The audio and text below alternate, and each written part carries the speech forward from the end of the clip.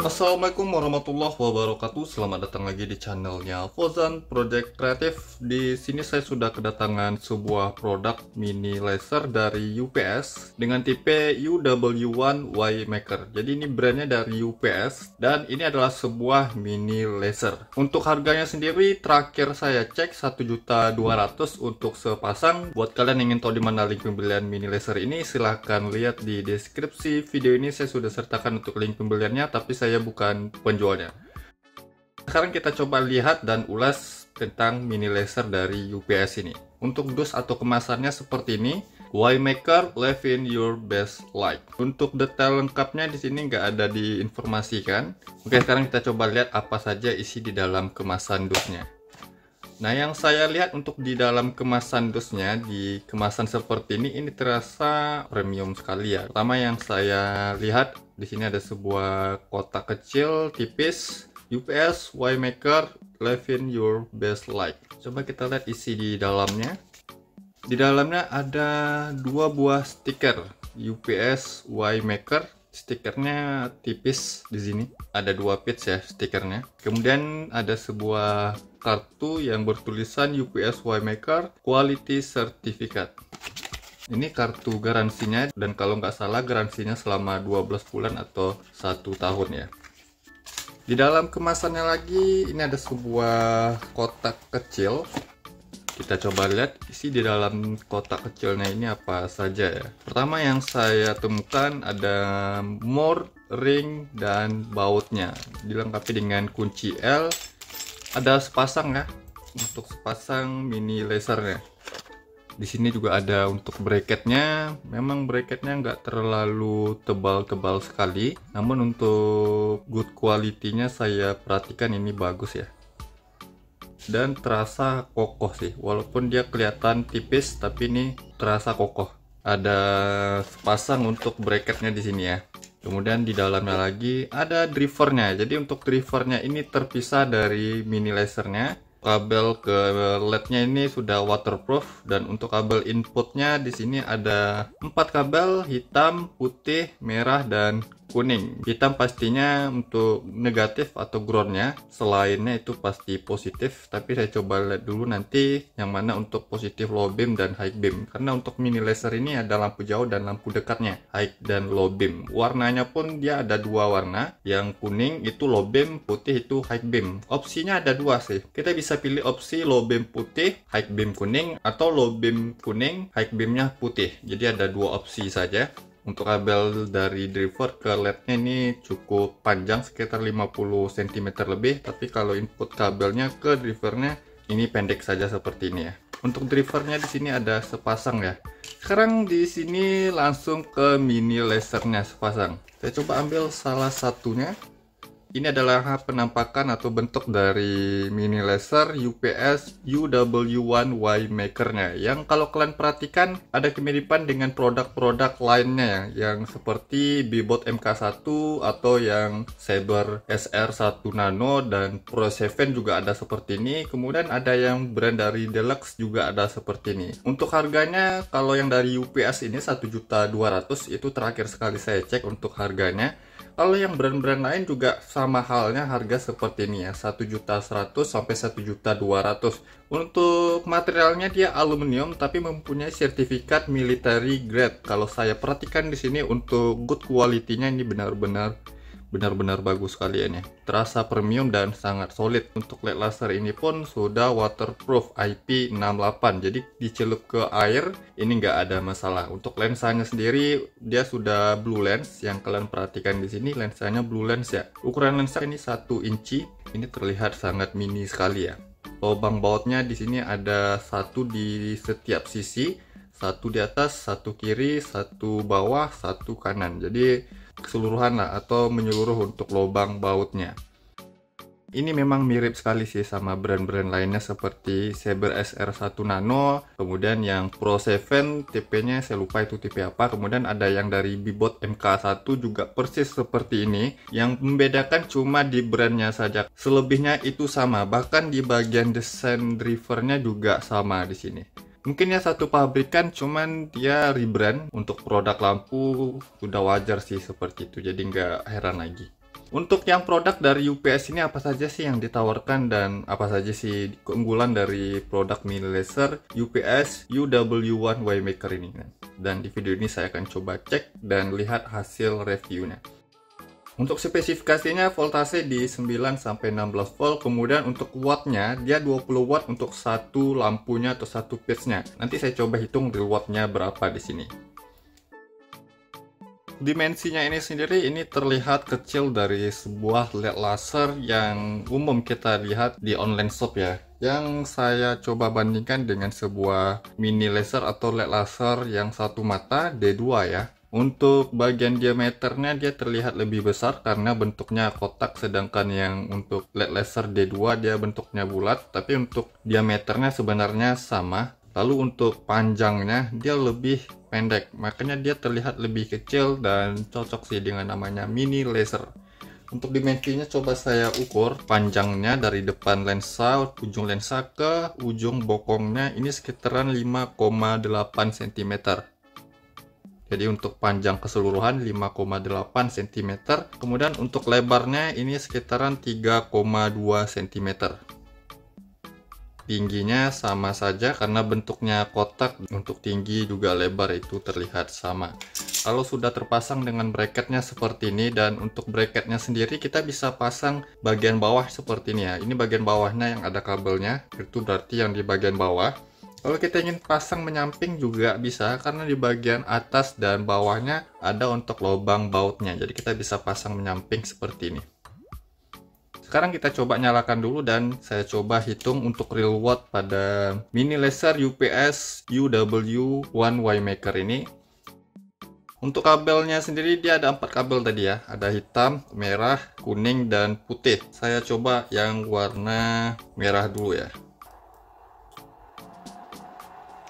Oke, jadi kalau yang warna merah ini dia nyala dua warna sekaligus. Jadi bisa kita nyalakan dua warnanya sekaligus. Sorot cahayanya itu yang putih dan kuning nyala secara bersamaan yang bisa kalian perhatikan. Nah, kalau misalnya opsi yang saya pilih ini kuning untuk low beam, putih untuk high beam. Kalau yang kabel warna putihnya untuk kabel putihnya dia sorot cahaya kuning di sini. Lalu untuk yang warna kuningnya untuk kabel kuningnya sorot cahaya itu warna putih. Sekarang kita coba lihat wattnya ya. Di sini kita coba lihat tegangan yang saya gunakan 13,2 volt. Tegangan rata-rata pada saat mesin menyala ya. Untuk yang warna kuningnya, saya coba lihat yang warna kuningnya. Dan untuk wattnya di sini 21,4 watt.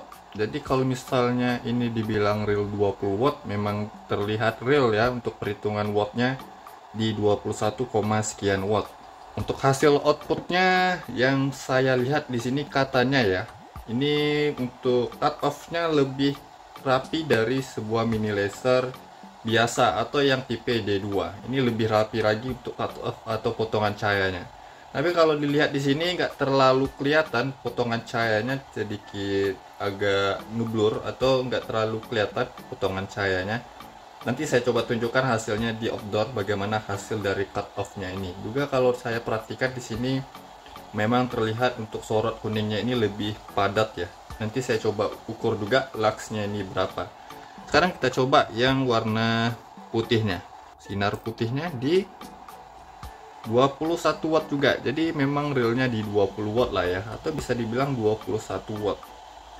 Ini luar biasa ya cuma satu lensa saja tapi sorot sayangnya bisa seperti ini. Kemudian saya coba nyalakan dua warnanya sekaligus. Oke untuk yang warna putih kuningnya di 20 watt drop 1 watt saja tapi nggak banyak atau nggak jauh. Masih dibilang 20 watt. Untuk hasil sorotannya bisa kalian lihat yang warna putih itu di bagian atas kuning di bagian bawah ya. Dan untuk wattnya di sini 19,9 watt. Masih bisa dibilang 20 watt sih jadi untuk real watt yang saya dapatkan di 20 watt. Sekarang saya coba nyalakan dulu beberapa menit dan saya coba lihat untuk stabil di watt berapa. Lalu saya coba ukur juga untuk temperatur panasnya. Di sini saya akan coba nyalakan sekitar 15 menit dan nanti saya coba ukur berapa temperatur panas pada body mini laser ini. Di bagian belakang ada kipas dan kipasnya nggak terlalu berisik smooth ya tapi terdengar kencang sih Oke, sekarang saya nyalakan dulu dan kita lihat hasil wattnya juga nanti temperatur panas pada body mini laser ini. Oke, jadi ini sudah 15 menit saya nyalakan dan untuk hasil wattnya di stabil 19,7 watt dan masih bisa dibilang 20 watt karena di atas 19 watt. Ini untuk dua warnanya sekaligus saya nyalain ya. Dan sudah 15 menit lebih. Untuk temperatur panasnya di bagian body mini lasernya di sekitaran 53 derajat Celcius. Oke di 53 derajat Celcius saya coba ukur yang di bagian samping ya di atas 50 derajat Celcius tapi nggak sampai angka 60 derajat Celcius ya masih di bawah 60 derajat Celcius dan tergolong dingin untuk sebuah LED ya dengan panas segini. Kalau untuk drivernya untuk drivernya sendiri ini juga tergolong dingin di 45 derajat Celcius. Kemudian di bagian atasnya sekitaran 47 tadi ya saya coba lihat. Oke di 47 derajat celcius. Untuk good quality dari bahan casing drivernya juga terlihat solid dan kokoh ya. Ini ini plastik atau besi ya? Saya coba pukul dulu pakai ini. Apakah nyaring suaranya? Oke ny suaranya nyaring berarti ini adalah aluminium ya. Kalau besi beda lagi nyaringnya. Tapi panasnya nggak sampai 50 derajat celcius untuk di driver dan untuk di body lasernya juga nggak sampai 60 derajat celcius. Jadi ini tergolong dingin Oke sekarang saya coba tunjukkan dulu hasil outputnya di outdoor. Sebelum itu nanti saya coba ukur dulu untuk lux pada mini laser UPS UW1Y maker ini berapa dan nanti saya coba tunjukkan hasil outputnya di outdoor. Sampai sekarang untuk hasil yang saya dapatkan cukup memuaskan. Untuk real wattnya memang real di 20 watt. Dan untuk good quality yang saya lihat di bagian body lasernya juga terlihat mantap ya. Kita lihat hasil outputnya di outdoor dan kita hitung luxnya berapa. Jangan ke mana-mana simak terus video ini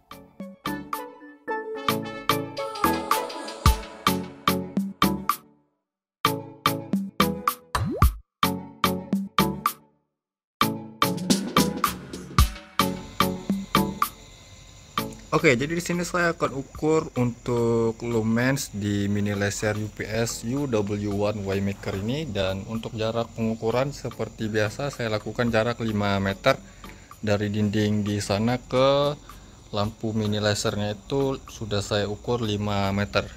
Pertama saya akan ukur dulu untuk cahaya sinar kuningnya ini.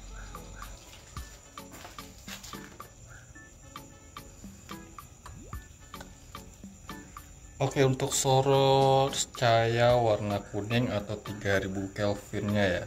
Untuk sorot putihnya ini 6000 Kelvin sorot kuningnya 3000 Kelvin ya. Dan untuk sorot kuningnya di sini yang saya hitung masih dapat di 1008 lux atau 1000 lux lah. Kalau dihitung dari nilai powernya yang 20 watt dan dapatnya di 1000 lux ini lumayan tinggi ya. Atau ini tergolong terang untuk mini laser yang daya wattnya cuma 20 watt. Oh maaf saya kurang lihat ternyata 1006 lux bukan 1008 lux. Di sini saya dapatnya 1000 lux. Hasil yang saya dapatkan untuk mini laser UPS UW1Y maker ini di cahaya kuningnya ini 1006 lux. Sekarang kita coba untuk sorot putihnya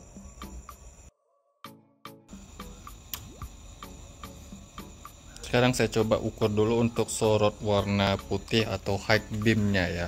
Di sini untuk warna putihnya ini di high beam kuningnya tadi itu yang di low beam.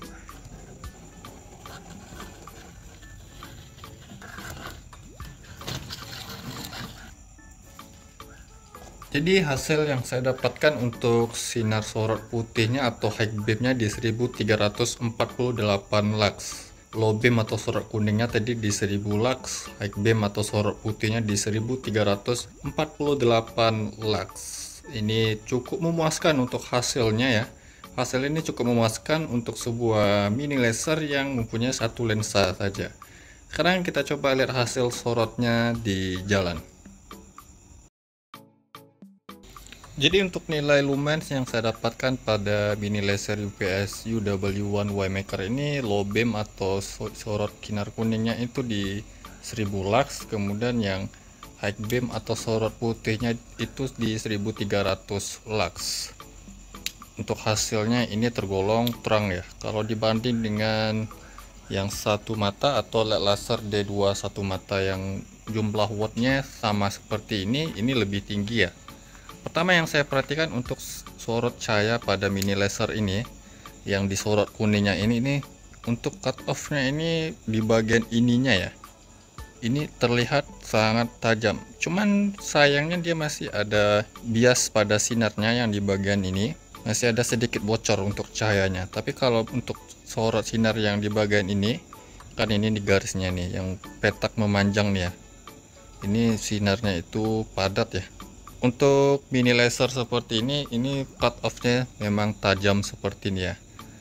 Ya sama persis sih di brand-brand lain seperti Saber, Pro 7 ataupun yang Bibot juga seperti ini hasil sorotannya. Bagian cut off-nya atau karakter cahayanya ini sama saja ya. Cahayanya ini terang ya terang sekali nih. Untuk sebuah mini laser atau LED laser dengan lensa satu atau satu lensa saja nah ini untuk sorot warna putih atau high beamnya.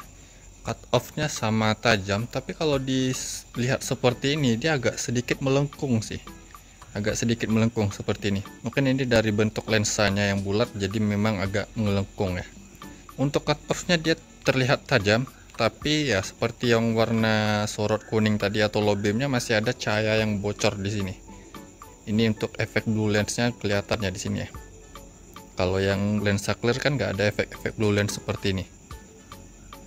Yang di bagian bawah walaupun dia ada bocor ya. Cuman ini bagus sih kalau hal seperti ini kalau di bagian bawahnya ya. Karena untuk mengisi kekosongan di area bagian bawahnya. Cahaya sinar putihnya ini terlihat padat sekali. 1300 lumen yang saya hitung tadi dalam jarak 5 meter. Bisa dinyalakan dua warna sekaligus putih dan kuningnya ya layaknya LED laser LED laser lainnya kalau dinyalakan dua warna sekaligus dia akan meredup. Ini coba kalian perhatikan yang untuk sorot sinar putihnya terang segini pada saat warna kuningnya dinyalakan atau nyala secara bersamaan dia akan sedikit redup ya. Ya walaupun nggak signifikan ya atau nggak terlalu banyak untuk redupnya. Untuk jarak dari sinar kuning dan putihnya ini dia sedikit ada space sih masih ada sedikit yang bisa kalian perhatikan di sini. Dan untuk lebarannya kalau saya perhatikan ya dia nggak terlalu lebar-lebar sekali, masih lebaran yang LED laser D2 ya. Cuman kalau untuk terangnya ini jauh terangnya ya dari LED laser D2 atau yang LED laser satu mata.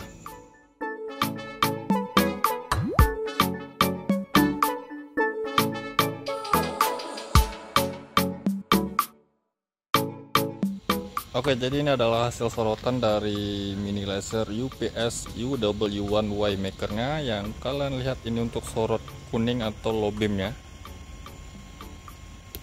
dan ini untuk sorot putih atau high beamnya. Jadi kalau misalnya di low beam posisi seperti ini pada saat high beam seperti ini. Atau dinyalakan secara bersamaan seperti ini ya. Saya akan perhatikan sendiri untuk hasil sorotannya kalau dinyalakan dua warna sekaligus memang dia nggak terlalu maksimal sorotannya atau cahayanya. Kalau misalnya dinyalakan secara satu warna dia baru maksimal. Untuk hasil sorotannya kalian bisa perhatikan ya ini ini terang loh. Dan untuk jarak sorotnya ini lumayan jauh. Dan tadi pada saat disorot ke dinding dia memang terlihat ada bias cahaya atau uh, cahaya yang bocor di bagian atas cut off-nya. Tapi kalau sudah seperti ini dan saya perhatikan langsung, dia nggak ada biasnya, terlihat rapi untuk cut off-nya. Untuk sebuah mini laser, ini adalah jenis mini laser yang cut off-nya itu rapi ya. Yang kalian bisa perhatikan sendiri di sini. Cut off-nya itu terlihat rapi. Untuk sorot kuningnya juga demikian seperti ini dan untuk jarak sorotnya bisa kalian perhatikan jauhnya seperti apa ya.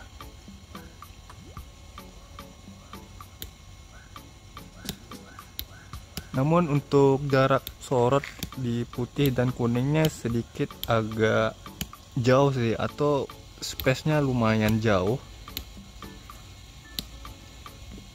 Tapi masih bisa ditoleransi lah. Kalau misalnya di saat sorot kuningnya sorot kuningnya seperti ini dan pada saat high beam putihnya masih masih bagus lah untuk posisi sorot jarak jauhnya.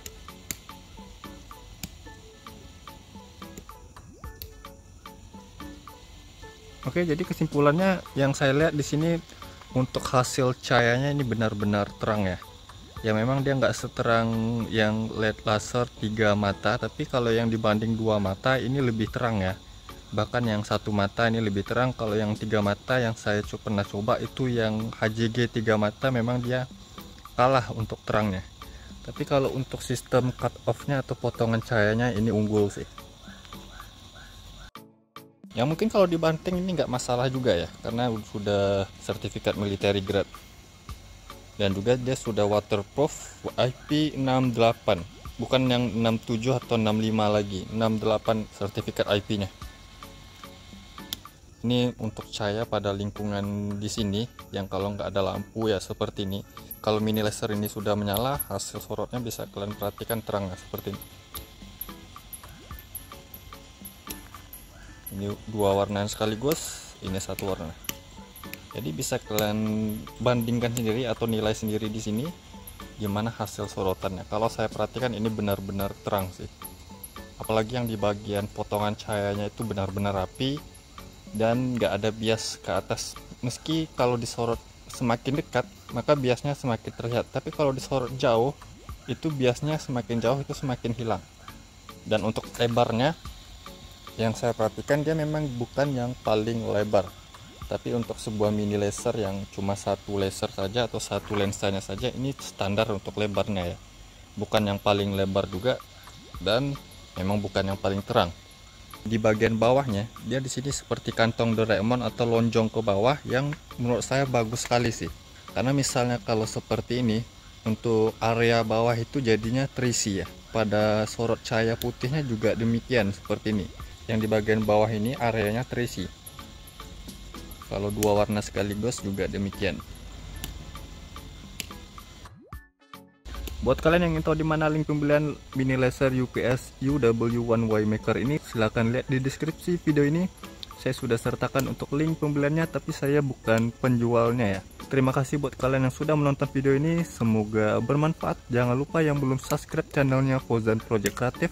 Saya mohon untuk subscribe channel ini agar saya bisa terus memberikan tips, trik, info, dan tutorialnya kepada sobat ya. Dan jangan lupa juga untuk like kan video ini, komentar di bawah apabila ada pertanyaannya. Sampai jumpa di video berikutnya.